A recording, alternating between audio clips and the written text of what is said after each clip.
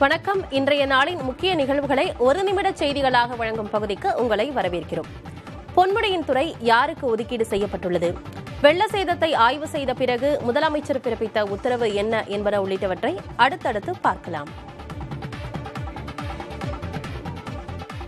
சொத்து குவிப்பு வழக்கில் அமைச்சர் பொன்முடிக்கு மூன்று ஆண்டுகள் சிறை தண்டனை விதித்து சென்னை உயர்நீதிமன்றம் தீர்ப்பளித்துள்ளது சென்னை உயர்நீதிமன்றத்தில் அமைச்சர் பொன்முடி மற்றும் அவரது மனைவி விசாலாட்சி மீதான சொத்து குவிப்பு வழக்கு விசாரணை முடிவடைந்த நிலையில் நீதிபதி ஜெயச்சந்திரன் இன்று தீர்ப்பு வழங்கினார் அமைச்சர் பொன்முடி மற்றும் அவரது மனைவிக்கு மூன்று ஆண்டுகள் சிறை தண்டனை மற்றும் இருவருக்கும் தலா ஐம்பது லட்சம் ரூபாய் அபராதம் விதிக்கப்பட்டுள்ளது மேல்முறையீடு செய்ய ஏதுவாக முப்பது நாட்களுக்கு தண்டனை நிறுத்தி வைக்கப்படுவதாகவும் நீதிபதி ஜெயச்சந்திரன் அறிவித்துள்ளார் இரண்டாயிரத்து ஆறு முதல் இரண்டாயிரத்து பதினொன்றாம் ஆண்டு வரை அமைச்சராக இருந்த பொன்முடியும் அவரது மனைவியும் வருமானத்திற்கு அதிகமாக சொத்து சேர்த்ததாக லஞ்ச ஒழிப்புத்துறை சார்பில் வழக்கு பதிவு செய்யப்பட்டது இந்த வழக்கை விசாரித்த சிறப்பு நீதிமன்றம் போதிய ஆதாரங்கள் இல்லாததால் வழக்கிலிருந்து இருவரையும் விடுவித்தது இதனைத் தொடர்ந்து சென்னை உயர்நீதிமன்றத்தில் போதிய ஆதாரங்களுடன் லஞ்ச ஒழிப்புத்துறை மேல்முறையீடு செய்தது இந்த வழக்கு விசாரணை முடிவடைந்த நிலையில் அமைச்சர் பொன்முடி மற்றும் அவரது மனைவி இருவரும் குற்றவாளிகள் என சென்னை உயர்நீதிமன்றம் அறிவித்தது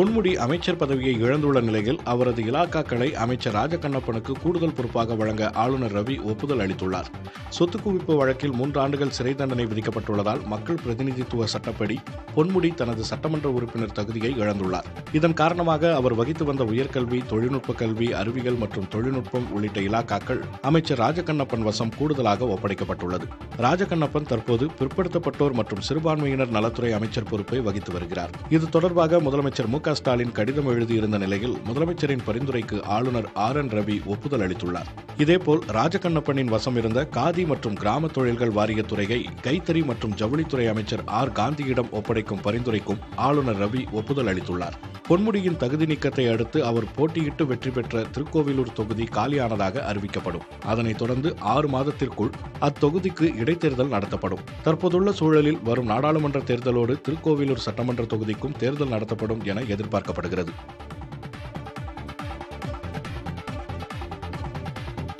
தென் மாவட்டங்களின் மழையால் பாதிக்கப்பட்ட பகுதிகளை ஆய்வு செய்த முதலமைச்சர் மு ஸ்டாலின் அதிகாரிகளுக்கு முக்கிய உத்தரவுகளை பிறப்பித்துள்ளார் நெல்லை தூத்துக்குடி கன்னியாகுமரி மற்றும் தென்காசி மாவட்டங்கள் கனமழை மற்றும் வெள்ளத்தால் கடுமையாக பாதிக்கப்பட்டன இம்மாவட்டங்களில் பல பகுதிகளில் இன்னும் இயல்பு நிலை திரும்பவில்லை குறிப்பாக தூத்துக்குடி மாவட்டத்தின் பல பகுதிகளிலும் இன்னும் வெள்ளம் வடிகவில்லை இந்நிலையில் பாதிக்கப்பட்ட மாவட்டங்களில் ஆய்வு செய்ய முதலமைச்சர் மு ஸ்டாலின் சென்னையிலிருந்து விமானம் மூலம் தூத்துக்குடி சென்றடைந்தார் அங்குள்ள செயின்ட் மேரிஸ் பள்ளி அந்தோனியார்புரம் குறிஞ்சி நகர் உள்ளிட்ட பகுதிகளில் ஆய்வு மேற்கொண்ட முதலமைச்சர் மு ஸ்டாலின் பாதிக்கப்பட்ட மக்களிடம் குறைகளை கேட்டறிந்தார் நிவாரண முகாம்களில் தங்க வைக்கப்பட்டுள்ள மக்களுக்கு உதவிப் பொருட்களையும் முதலமைச்சர் மு ஸ்டாலின் வழங்கினார் தொடர்ந்து எட்டயபுரம் மூன்றாவது கேட் மேம்பாலத்திலிருந்து வெள்ளம் சூழ்ந்த பகுதிகளை பார்வையிட்ட முதலமைச்சர் தேங்கியிருக்கும் மழைநீரை அகற்றும் பணியை விரைந்து மேற்கொள்ளுமாறு அதிகாரிகளுக்கு உத்தரவிட்டார் இதேபோல் குறிஞ்சிநகர் போல்பேட்டையில் சூழ்ந்துள்ள மழைநீரை உடனடியாக அகற்ற வேண்டும் என்றும் முதலமைச்சர் மு ஸ்டாலின் உத்தரவிட்டார்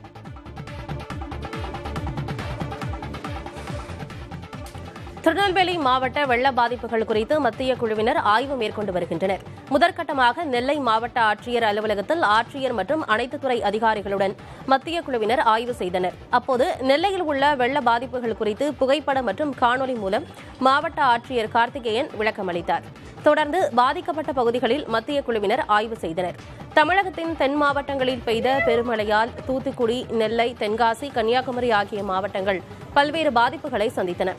இந்த பாதிப்புகள் குறித்து ஆய்வு செய்ய மத்திய குழு தமிழகம் வந்தது நேற்று தூத்துக்குடி மாவட்டத்தில் ஆய்வு செய்த நிலையில் இன்று நெல்லையில் ஆய்வு செய்து வருகின்றனா்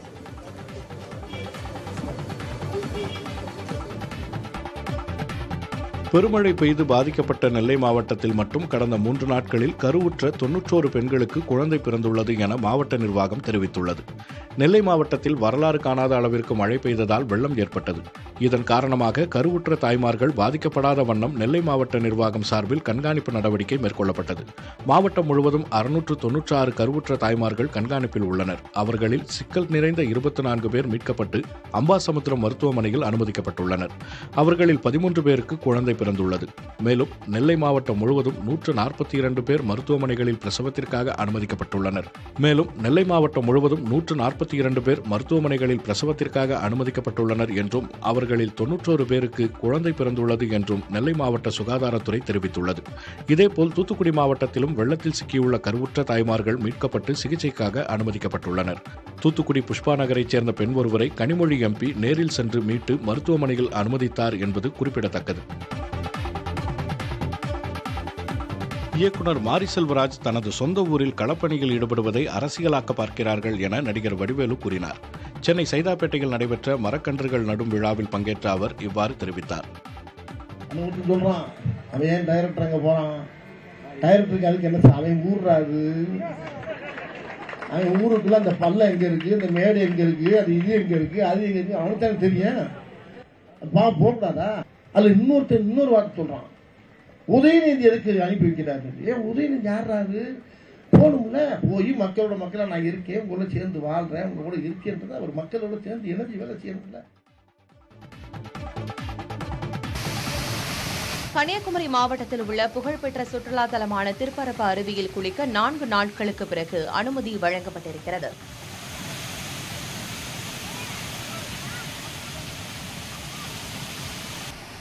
தென் மாவட்டங்களில் பொழிந்த கனமழை காரணமாக குமரி மாவட்டத்தில் உள்ள பேச்சிப்பாறை பெருஞ்சாணி ஆகிய அணைகளுக்கு நீர்வரத்து அதிகரித்த நிலையில் அவ்வணைகளிலிருந்து நீர் திறப்பும் அதிகரிக்கப்பட்டது இதன் காரணமாக திருப்பரப்பு அருவியில் வெள்ளப்பெருக்கு ஏற்பட்டதால் பொதுமக்கள் குளிக்க பேரூராட்சி நிர்வாகம் தடை விதித்து உத்தரவிட்டது இந்நிலையில் மழை குறைந்த நிலையில் திருப்பரப்பு அருவி பகுதிக்கான நீர்வரத்தும் குறைந்திருக்கிறது அருவியில் தற்போது விழும் நீர் பொதுமக்கள் அச்சமின்றி குளிக்கும் அளவிற்கு உள்ளது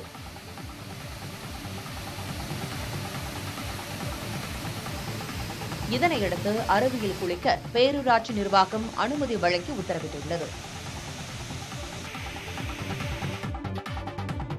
இரண்டாயிரத்து இருபத்தி நான்காம் ஆண்டு நடைபெறவுள்ள மக்களவைத் தேர்தல் தொடர்பாக காங்கிரஸ் கட்சியைச் சேர்ந்த மூத்த நிர்வாகிகளுடன் அக்கட்சியின் தலைவர் மல்லிகார்ஜுன கார்கே இன்று ஆலோசனை நடத்தவுள்ளார் அண்மையில் நடந்து முடிந்த சட்டமன்ற தேர்தல்களில் காங்கிரஸ் கட்சி பின்னடைவை சந்தித்த நிலையில் மக்களவைத் தேர்தலில் எத்தகைய வியூகத்துடன் எதிர்கொள்ள வேண்டும் என்பது குறித்து விவாதிக்கப்பட உள்ளதாக கூறப்படுகிறது இந்தியா கூட்டணி கட்சிகளின் கூட்டத்தில் பேசப்பட்ட விவகாரங்கள் மற்றும் கூட்டணி கட்சிகளுடனான தொகுதி பங்கீடு போன்றவை குறித்தும் கட்சியின் மூத்த நிர்வாகிகளின் கருத்தை மல்லிகார்ஜுன கார்கே கேட்டறிவார் எனவும் கூறப்படுகிறது இந்த ஆலோசனை கூட்டத்தில் காங்கிரஸ் கட்சியின் முன்னாள் தலைவர் சோனியா காந்தி மக்களவை உறுப்பினர் ராகுல் காந்தி உள்ளிட்டோர் பங்கேற்க உள்ளனர் இந்திய அரசாங்கத்தின் கடன் பாதிப்பு மொத்த உள்நாட்டு உற்பத்தியை விட இரண்டு மடங்கு அதிகமாக இருக்கலாம் என சர்வதேச நாணய நிதியம் எச்சரித்துள்ளது சர்வதேச நாணய நிதியம் நடத்திய ஆய்வின்படி இந்தியாவின் கடன் உயர்ந்து கொண்டே இருப்பதாக தெரிவித்துள்ளது இது அரை நிதியாண்டில் இந்தியாவின் மொத்த உள்நாட்டு உற்பத்தியை விட நூறு விழுக்காடு அளவிற்கு உயரும் என்றும் எச்சரித்துள்ளது இது நீண்டகால பாதிப்புகளை ஏற்படுத்தும் என்றும் காலநிலை மாற்றத்தால் ஏற்படும் பாதிப்புகளை குறைக்க நடவடிக்கை எடுக்க வேண்டிய சூழல் இருப்பதால் கடன் சுமை மேலும் உயர்ந்து பாதிப்புகளை ஏற்படுத்தும் என்றும் ஐஎம்எஃப் தெரிவித்துள்ளது கடந்த இரண்டு ஆண்டுகளாக எண்பத்தோரு சதவிகிதமாக இருந்த கடன் சுமை மற்றும் ஜிடிபி வித்தியாசம் தற்போது நூறு சதவீதத்தை எட்டியுள்ளதாகவும் அந்த அமைப்பு குற்றஞ்சாட்டியுள்ளது ஆனால் சர்வதேச நாணய நிதியத்தின் இந்த எச்சரிக்கையை மத்திய அரசு மறுத்துள்ளது இந்தியாவின் கடன் அதிகரிப்பு தொடர்ந்து குறைந்து வருவதாகவும் இதுதான் இந்தியாவின் உள்நாட்டு உற்பத்தி அதிகரிக்க காரணமாக இருப்பதாகவும் மத்திய அரசு விளக்கம் அளித்துள்ளது சட்டவிரோத மணல் விற்பனை வழக்கில் மாவட்ட ஆட்சியர்களுக்கு அனுப்பப்பட்ட சம்மனுக்கு உயர்நீதிமன்றம் இடைக்கால தடை விதித்த நிலையில் உச்சநீதிமன்றத்தில் தமிழ்நாடு அரசு கேவியட் மனு தாக்கல் செய்திருக்கிறது தமிழ்நாட்டில் உள்ள மணல் குவாரிகளில் சட்டவிரோதமாக மணல் விற்பனை செய்யப்பட்டதாக எழுந்த புகார் அடிப்படையில் கடந்த செப்டம்பர் மாதம் மாநிலம் முழுவதும் உள்ள முப்பத்து நான்கு இடங்களில் அமலாக்கத்துறையினர் சோதனை மேற்கொண்டனர் அப்போது மணல் குவாரி உரிமையாளர்கள் நீர்வளத்துறை அதிகாரிகள் ஆகியோருக்கு சொந்தமான இடங்களில் இருந்து கணக்கில் காட்டப்படாத பல கோடி ரூபாய் மதிப்பிலான சொத்து ஆவணங்கள் பறிமுதல் செய்யப்பட்டன தெரிவித்தன இதனைத் தொடர்ந்து பத்து மாவட்ட ஆட்சியர்கள் உள்ளிட்டோருக்கு அமலாக்கத்துறை சம்மன் அனுப்பியது இதனை எதிர்த்து தாக்கல் செய்யப்பட்ட மனுவை விசாரித்த சென்னை உயர்நீதிமன்றம் அந்த சம்மனுக்கு இடைக்கால தடை விதித்தது இந்நிலையில் இந்த விவகாரத்தில் தமிழ்நாடு அரசு சார்பில் உச்சநீதிமன்றத்தில் கேவியட் மனு தாக்கல் செய்யப்பட்டிருக்கிறது இந்த விவகாரத்தில் அமலாக்கத்துறை மேல்முறையீடு செய்தால் தங்கள் தரப்பு வாதங்களை முதலில் கேட்க வேண்டும் என்று கேவியட் மனுவில் வலியுறுத்தப்பட்டுள்ளது நாடாளுமன்றத்தில் அமளியில் ஈடுபட்டதாக காங்கிரஸ் எம்பிக்கள் மேலும் மூன்று பேர் சஸ்பெண்ட் செய்யப்பட்டுள்ளனர் நாடாளுமன்றத்தின் மக்களவைக்குள் அத்துமீறி இரண்டு இளைஞர்கள் நுழைந்து வண்ண புகை குப்பைகளை வீசிய சம்பவம் நாடு முழுவதும் பெரும் அதிர்வலைகளை ஏற்படுத்தியது நாடாளுமன்றத்தின் பாதுகாப்பு குறித்து மத்திய உள்துறை அமைச்சர் பதிலளிக்க வலியுறுத்தி இரு அவைகளிலும் காங்கிரஸ் திமுக திரிணாமுல் காங்கிரஸ் உள்ளிட்ட எதிர்க்கட்சி எம்பிக்கள் தொடர் அமளியில் ஈடுபட்டனர் இதன் காரணமாக மக்களவை மற்றும் மாநிலங்களவையில் இடைநீக்கம் செய்யப்பட்டு வருகின்றனர் அந்த வகையில் நேற்று வரை நூற்று நாற்பத்தி மூன்று நாடாளுமன்ற உறுப்பினர்கள் கூட்ட தொடரில் இருந்து இடைநீக்கம் செய்யப்பட்டிருந்தனர் இந்த நிலையில் இன்றும் மக்களவையில் காங்கிரஸ் உள்ளிட்ட எதிர்க்கட்சி உறுப்பினர்கள் அமளியில் ஈடுபட்டனர் இதனையடுத்து மக்களவை காங்கிரஸ் உறுப்பினர்கள் தீபக் பைஜ் டி கே சுரேஷ் மற்றும் நகுல்நாத் ஆகியோர் இடைநீக்கம் செய்யப்பட்டுள்ளனர் இதனையடுத்து நடப்பு கூட்டத் தொடரிலிருந்து இடைநீக்கம் செய்யப்பட்ட நாடாளுமன்ற உறுப்பினர்களின் எண்ணிக்கை நூற்று நாற்பத்து ஆறாக அதிகரித்துள்ளது இந்தியா தென்னாப்பிரிக்கா அணிகளுக்கு இடையிலான ஒருநாள் தொடரை வெல்வது யார் என்பதை தீர்மானிக்கும் போட்டி சற்று நேரத்தில் தொடங்க உள்ளது முதல் போட்டியில் இந்தியாவும் இரண்டாவது போட்டியில் தென்னாப்பிரிக்கா அணியும் வெற்றி பெற்றன ஏற்கனவே இருபது ஓவர் போட்டி சமனில் முடிந்ததால் ஒருநாள் போட்டி தொடரை கைப்பற்ற இரு அணிகளும் தீவிரம் காட்டும் என எதிர்பார்க்கப்படுகிறது இரு அணியிலும் இடம்பெற்றுள்ள இளம் வீரர்கள் துடிப்பான ஆட்டத்தை வெளிப்படுத்தி வருகின்றனர் இந்திய அணியை பொறுத்தவரையில் இந்த தொடரில் அறிமுகமான சாய் சுதர்சன் சிறப்பான முறையில் ஆடி வருகிறார் சஞ்சு சாம்சன் திலக் வர்மா ரிங்கு சிங் உள்ளிட்டோர் இந்த போட்டியில் சிறப்பாக விளையாடும் பட்சத்தில் தொடர் இந்திய அணியின் வசமாக கூடும் இதுவரை இந்திய அணி இந்தியா தென்னாப்பிரிக்கா அணிகள் பதினைந்து முறை ஒருநாள் போட்டித் தொடரில் விளையாடியுள்ள நிலையில் ஏழு தொடர்களை இந்தியாவும் ஆறு தொடர்களை தென்னாப்பிரிக்காவும் வென்றுள்ளன தென்னாப்பிரிக்காவின் எய்டன் மார்க்ரம் மேலும் மூன்று ரன்களை எடுக்கும் பட்சத்தில் நடப்பாண்டில் ஒருநாள் போட்டிகளில் ஆயிரம் ரன்களை அடித்த வீரர் என்ற பட்டியலில் அவர் இணைவார்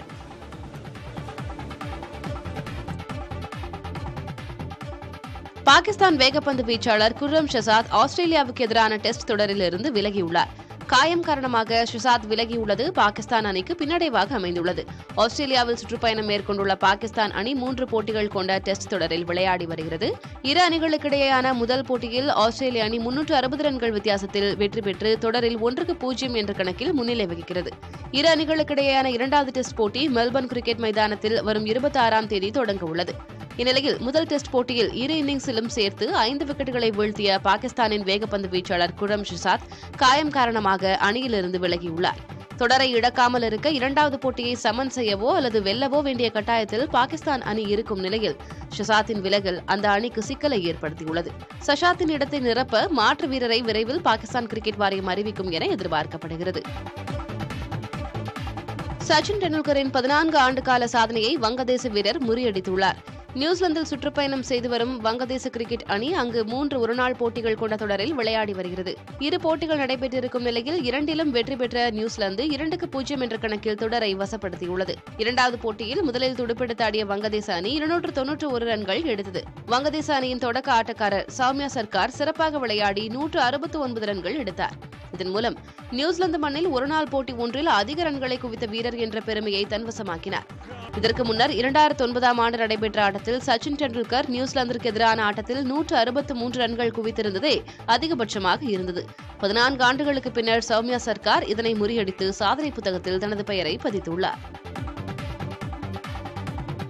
ஐஎஸ்எல் கால்பந்து தொடரின் நேற்றைய ஆட்டத்தில் மோகன் பகான் அணியை வீழ்த்தி மும்பை சிட்டி எஃப்சி வெற்றி பெற்றது முதல் பாதையில் இரு அணிகளும் சிறப்பாக விளையாடிய நிலையில் இருபத்தி ஐந்தாவது நிமிடத்தில் மோகன் பகான் அணி முதல் கோலை அடித்தது தொடர்ந்து நாற்பத்தி நான்காவது நிமிடத்தில் முதல் கோலை மும்பை அணி அடித்து சமன் செய்தது முதல் பாதி ஒன்றுக்கு ஒன்று என்ற கணக்கில் சமனில் முடிவடைந்தது இதனையடுத்து இரண்டாம் பாதியில் இரு அணிகளும் முன்னிலை பெற போட்டி போட்டு கோல் அடிக்க முயற்சித்தன எழுபத்து மூன்றாவது நிமிடத்தில் மும்பை இரண்டாவது கோலை அடித்து முன்னிலை பெற்றது இரண்டாவது கோல் அடிக்க மோகன் பகான் அணி எடுத்த முயற்சிகள் பலன் அளிக்காததால் ஆட்ட நேர முடிவில் இரண்டுக்கு ஒன்று என்ற கணக்கில் மும்பை அணி வெற்றி பெற்றது போட்டி நடத்த நடத்தை விதிமீறலில் ஈடுபட்டதாக ஏழு வீரர்களுக்கு நடுவர் ரெட் கார்டு கொடுத்தார் இதனால் அடுத்த போட்டியில் மும்பை அணி நான்கு வீரர்கள் இன்றியும் மோகன் பகான் அணி மூன்று வீரர்கள் இன்றியும் களம் இறங்க வேண்டிய நிலைக்கு தள்ளப்பட்டுள்ளன உச்சநீதிமன்றத்தில் மேல்முறையீடு செய்து பொன்முடி மற்றும் அவரது மனைவிக்கு நீதி பெற்றுத் தருவோம் என திமுக வழக்கறிஞர் என்ஆர் இளங்கோ தெரிவித்துள்ளார் சென்னை அண்ணா அறிவாலயத்தில் செய்தியாளர்களை சந்தித்த அவர் வருமான வரி கணக்கு தாக்கல் செய்வதில் ஏற்பட்ட தாமதம் காரணமாக வழக்கு திசை மாறியதாக கூறினார் இந்த வழக்கில் விசாரிக்கப்பட்ட வங்கி அதிகாரிகள் மற்றும் வருமானத்துறை அதிகா வரி வரித்துறை அதிகாரிகள் திருமதி விசாலாட்சி பொன்முடி அவர்கள் மிக லாபகரமாக தன்னுடைய தொழில் நிறுவனங்களை நடத்தி வந்தார் என்பதை ஒப்புக்கொண்டுள்ளார்கள் அதில் ஐந்து கோடி ரூபாய்க்கு மேலாக ஒரு வருடத்திற்கு வியாபாரம் நடத்தப்பட்டிருக்கிறது என்ற விவரங்கள் மிக தெளிவாக நிரூபிக்கப்பட்டிருக்கிறது ஆனால் உயர்நீதிமன்றம் குறித்த நேரத்தில் வருமான வரியை தாக்கல் செய்யாததுதான் தனக்கு சந்தேகத்தை ஏற்படுத்துவதாக ஒரு முடிவுக்கு வந்து இந்த விடுதலை ரத்து செய்திருக்கிறார்கள்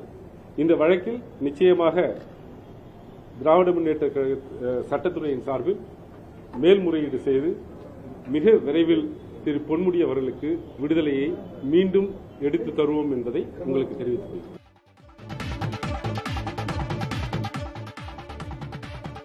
திமுகவில் இன்னும் நிறைய அமைச்சர்கள் சிக்குவார்கள் என அதிமுக பொதுச் செயலாளர் எடப்பாடி பழனிசாமி தெரிவித்துள்ளார் கிருஷ்ணகிரியில் செய்தியாளர்களிடம் பேசிய அவர் இதனை தெரிவித்தார் ஒரு சில அமைச்சர் நிறைய அமைச்சர் போறாங்க ஒரு சில அமைச்சர் சொல்லியிருக்கிறீங்க இப்போ தான் ஒரு ரெண்டு பேர் போயிருக்கிறாங்க இன்னும் எத்தனை பேர் போக போகிறான்னு தெரியல ஏன்னா இதெல்லாம் வந்து திராவிட முன்னேற்ற கழகம் என்று சொன்னாலே அது ஊழல் கட்சி ஊழலுக்காக கலைக்கப்பட்ட ஒரு அரசாங்கம் என்று சொன்னால் அது இந்தியாவிலேயே திராவிட முன்னேற்ற கழக அரசு தான் ஊழலுக்காக கலைக்கப்பட்ட அரசு இந்த ஆட்சி பொறுப்பேற்றிலிருந்து ரெண்டரை ஆண்டு காலம் ஊழல் செய்வது தான் அவருடைய சாதனை வேறு எந்த சாதனையும் பார்க்க முடியாது எல்லா இடத்துலையும் கமிஷன் கலெக்ஷன் கரப்ஷன் இதுதான் பெருமழை வெள்ளத்தால் பாதிக்கப்பட்ட ஏரல் பகுதியில் உள்ள மக்களுக்கு தேவையான உதவிப் பொருட்களை மக்களவை உறுப்பினர் கனிமொழி வழங்கினார் வெள்ளத்தால் பாதிக்கப்பட்ட தூத்துக்குடி மாவட்டத்தின் பல்வேறு பகுதிகளிலும் மக்களவை உறுப்பினர் கனிமொழி ஆய்வு மேற்கொண்டு மீட்பு மற்றும் நிவாரணப் பணிகளை மேற்கொண்டு வருகிறார் அந்த வகையில் ஏரல் பகுதியில் வெள்ளத்தால் சூழப்பட்டுள்ள பகுதிகளுக்கு தேசிய பேரிடர் நிவாரணப் படையினரோடு படகில் பயணித்த கனிமொழி அங்குள்ள மக்களின் தேவைகளை கேட்டறிந்தார் இதனைத் தொடர்ந்து தொடர்புடைய அதிகாரிகளுக்கு மக்களின் நிலையை எடுத்துரைத்து அரிசி பருப்பு காய்கறிகள் உள்ளிட்ட பொருட்களை வரவழைத்து வழங்கினார் ஏரலை சுற்றியுள்ள பிற பகுதிகளுக்கு இருசக்கர வாகனத்தில் சென்ற கனிமொழி அப்பகுதி மக்களுக்கும் தேவையான உதவிப் பொருட்களை வழங்கினார்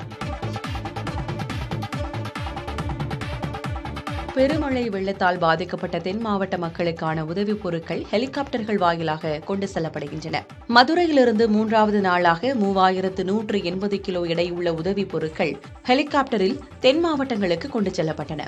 இதில் உணவுப் பொருட்கள் குடிநீர் அத்தியாவசிய மருந்து பொருட்கள் உள்ளன அதிகாலையில் மத்திய தொழில் பாதுகாப்பு படையினர் மற்றும் வருவாய்த்துறையினர் உதவியுடன் பொருட்கள் ஹெலிகாப்டர் மூலம் அனுப்பப்பட்டு வருகின்றன இன்று காலை ஆறு மணிக்கு ஹெலிகாப்டர் புறப்பட இருந்த நிலையில் மேகமூட்டம் காரணமாக காலை ஏழு முப்பது மணிக்கு புறப்பட்டுச் சென்றது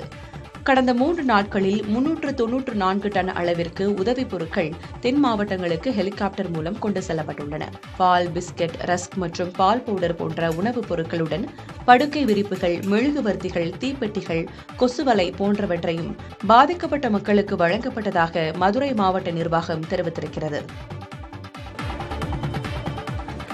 தூத்துக்குடி மாவட்டம் குச்சிக்காடு பகுதியில் இடுப்பளவு தண்ணீர் தேங்கியுள்ள நிலையில் அங்குள்ள மக்களுக்கு நேரடியாக சென்று தேவையான உதவிகளை தமிழ்நாடு சிறப்பு காவல் படையினர் மேற்கொண்டனர் சிறப்பு காவல் படையின் கமாண்டர் செந்தில் மற்றும் அவரது குழுவினர் வெள்ளத்தால் பாதிக்கப்பட்ட பகுதிக்கு சென்று மக்களை முகாம்களுக்கு அழைத்துச் சென்றனர் இடுப்பளவு தண்ணீரில் நடந்து சென்றவர்கள் மொட்டை மாடியில் உள்ளவர்களுக்கு தேவையான உதவிகளை கேட்டனர் மேலும் நிவாரண உதவிகளையும் நேரில் வழங்கினர்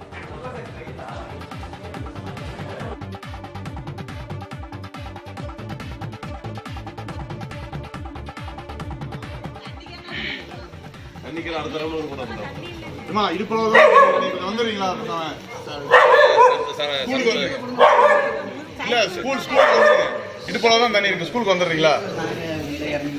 நடந்தது சரி விட்டு முடியாது அங்கே ஒரு ரெண்டு அங்கே ஒரு ரெண்டு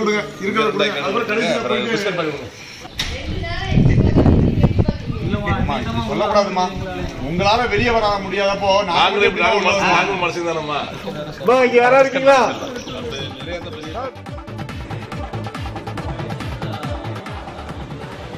கும்பக்கரை அருவியில் தொடர்ந்து ஆர்ப்பரித்து செல்லும் வெள்ளப்பெருக்கால் சுற்றுலா பயணிகளின் பாதுகாப்பு கருதி நான்காவது நாளாக குளிக்க தடை விதிக்கப்பட்டுள்ளது தேனி மாவட்டம் பெரியகுளம் அருகே உள்ள கும்பக்கரை அருவியின் நீர்பிடிப்பு பகுதிகளான மேற்கு தொடர்ச்சி மற்றும் வட்டக்கானல் வெள்ளக்கேவி உள்ளிட்ட பகுதிகளில் கடந்த மூன்று நாட்களுக்கு முன்பு கீழடுக்கு சுழற்சி காற்றின் காரணமாக தொடர்ந்து பெய்த கனமழையால் அருவியில் பெரும் வெள்ளப்பெருக்கு ஏற்பட்டது இதனால் சுற்றுலா பயணிகளின் பாதுகாப்பு கருதி வனத்துறையினர் குளிக்க தடை விதித்தனர் நீர்பிடிப்பு பகுதிகளில் தொடர்ந்து மழை பெய்து வருவதால் சுற்றுலா பயணிகள் அருவியில் குளிக்க விதிக்கப்பட்ட தடை நான்காவது நாளாக தொடர்வதாக வனத்துறையினர் அறிவித்துள்ளனர்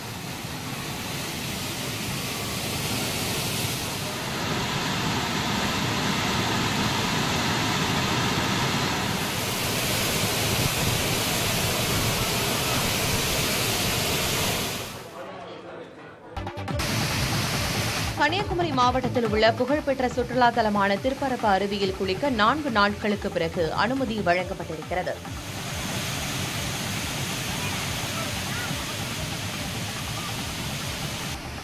தென் மாவட்டங்களில் பொழிந்த கனமழை காரணமாக குமரி மாவட்டத்தில் உள்ள பேச்சிப்பாறை பெருஞ்சாணி ஆகிய அணைகளுக்கு நீர்வரத்து அதிகரித்த நிலையில் அவ்வணைகளிலிருந்து நீர் திறப்பும் அதிகரிக்கப்பட்டது இதன் காரணமாக திருப்பரப்பு அருவியில் வெள்ளப்பெருக்கு ஏற்பட்டதால் பொதுமக்கள் குளிக்க பேரூராட்சி நிர்வாகம் தடை விதித்து உத்தரவிட்டது இந்நிலையில் மழை குறைந்த நிலையில் திருப்பரப்பு அருவி பகுதிக்கான நீர்வரத்தும் குறைந்திருக்கிறது அருவியில் தற்போது விழும் நீர் பொதுமக்கள் அச்சமின்றி குளிக்கும் அளவிற்கு உள்ளது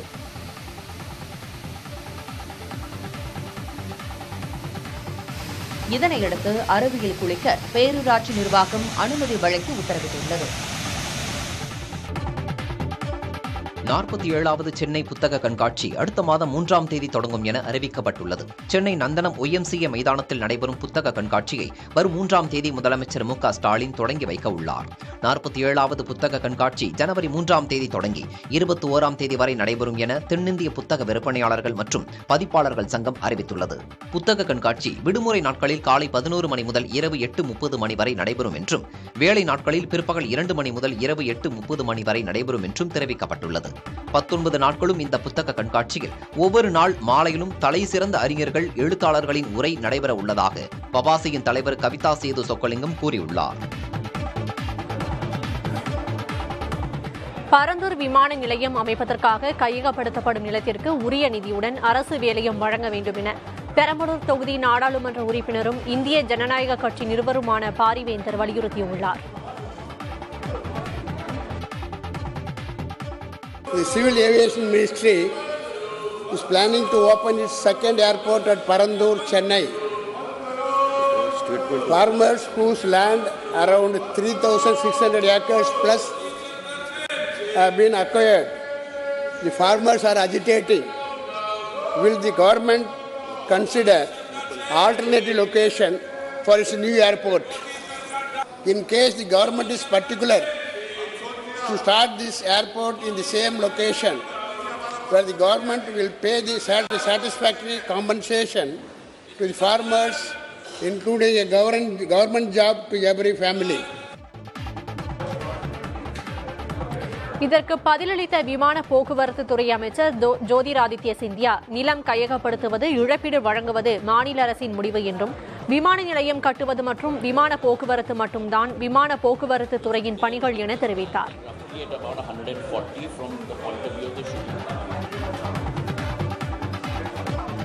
காஞ்சிபுரம் வரதராஜ பெருமாள் கோயிலில் தங்க முலாம் பூசியதில் முறைகேடு நடந்ததாக கூறப்பட்ட நிலையில் அறநிலையத்துறை இணை ஆணையர் நேரில் விசாரணை மேற்கொண்டார் காஞ்சிபுரம் வரதராஜ பெருமாள் கோயிலில் உள்ள பெருந்தேவி தாயார் சன்னதியை புதுப்பிக்க எடுக்கப்பட்ட நடவடிக்கைகளில் முறைகேடு நடந்ததாக காஞ்சிபுரத்தைச் சேர்ந்த டில்லி பாபு மற்றும் தினேஷ் என்பவர்கள் புகார் அளித்தனர்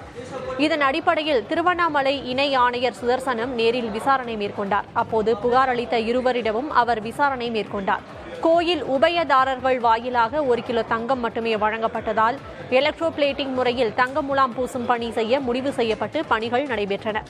ஆனால் இப்பணிகளில் முறைகேடு நடந்ததாக தற்போது புகார் எழுந்துள்ளது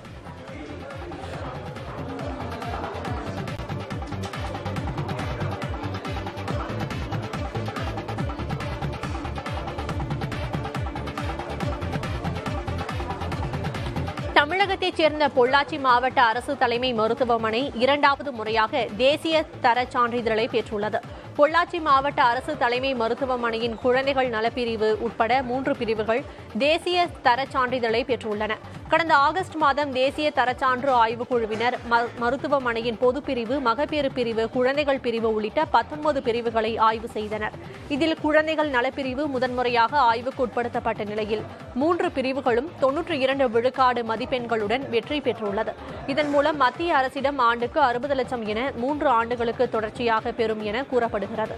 இந்த நிதி மருத்துவமனை மேம்பாட்டிற்காக பயன்படுத்தும் என மருத்துவமனை கண்காணிப்பாளர் ராஜா தெரிவித்தார் கடந்த இரண்டாயிரத்து பதினெட்டாம் ஆண்டு பொள்ளாச்சி அரசு மருத்துவமனை தேசிய தர சான்றை பெற்றது குறிப்பிடத்தக்கது மொத்தமாக அறுபது லட்சம் ரூபாய் ஒரு வருஷத்திற்கு இந்த மருத்துவமனைக்கு மத்திய அரசின் மூலம் கிடைக்கப்பட உள்ளது இதன் மூலம் நோயாளிகளுக்கு வேண்டிய வசதிகளை அதிகப்படுத்தி கொடுக்கலாம் மருத்துவமனைக்கு வேண்டிய உபகரணங்கள் நோயாளிகளை பார்ப்பதற்கு வேண்டிய அனைத்து